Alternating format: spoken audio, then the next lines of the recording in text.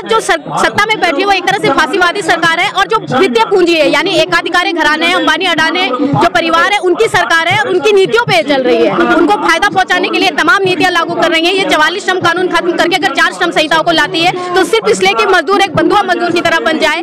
ये कृषि कानून लाती है तो सिर्फ़ इसलिए लाती है कि ताकि तमाम जो खेती किसानी है, वो अंबानी अंडानी को सौंप दी जाए और तमाम जो रोज़गार खत्म कर आज मजदूरों को ठेके पे, नीम, ट्रेनी और एफ़ के तहत अगर ये रख रही है तो सीधे तौर पर बड़े कॉर्पोरेट को फ़ायदा पहुँचाने के लिए कर वही आलू जो पहले दस रुपए किलो, पाँच रुपए किलो मिल जाता था, वो आलू आज साठ रुपए से नीचे नहीं है। आलू एक ऐसी सब्ज़ी थी कि चलो कुछ ना हो। मतलब एक ऐसी सब्ज़ी के घर, गरीब के घर में कुछ ना हो तो एक आलू डाल के, पानी डाल के उसकी सब्ज़ी बना लेता था। लेकिन आप मार्केट में जाओ, सब्जियों के रेट देखो, आटा चावल के रेट देखो, वही तेल जो सौ रुपए तक मिलता था दो सौ, ढाई सौ लीटर तक पहुँच चुका है। तो ये इतनी उनको गरीबों की चिंता है।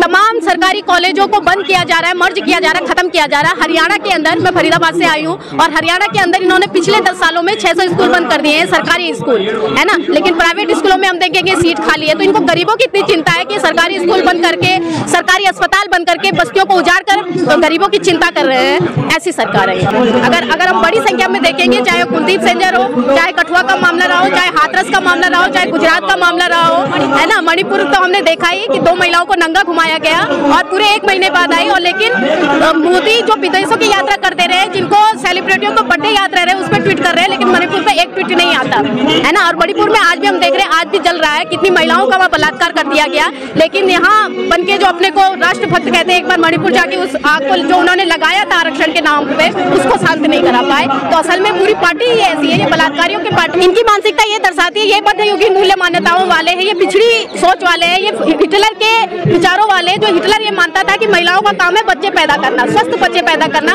और आज हमें देख रहे हैं कि भारत में भी जो सरकार है, वो यही चाहती है कि महिलाएँ पूजा पाठ करे, पति की वो करे, सेवा करे, बच्चे पैदा करे। वो बाहर निकलकर सड़कों पे जो काम करती है, वो सेना में जाती है, या वो डॉक्टर है, वो टीचर है, वो नहीं बने, वो बल्कि वो घर पे कैद रहे।